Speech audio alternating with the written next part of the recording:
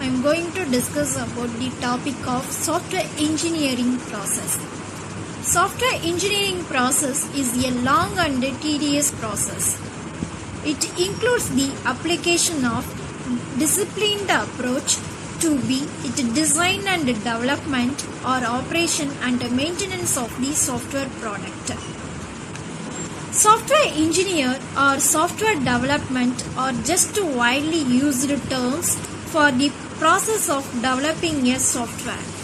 It is a concept of conceiving and applying engineering rules to the creation of a software product. Next see about what are the stages of software engineering process. They consist of five steps.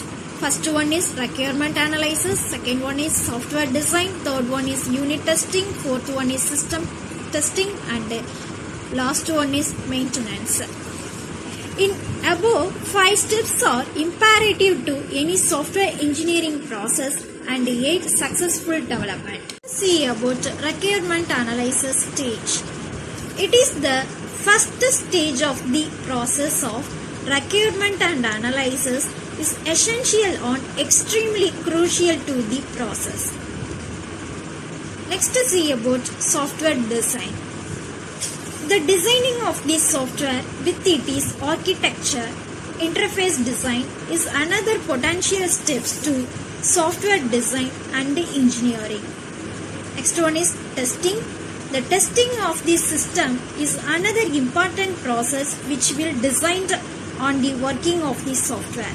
Last one is maintenance. It is a final stage of and it is imperative for the successful running of the software. See about business process engineering. It is a way in which study their current business process. It includes new methods to improve productivity, efficiency and the operational cost of the business. It is on seamlessly work.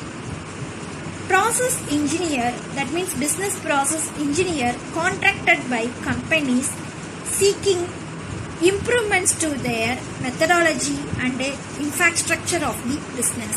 That is called business process engineering. Thank you.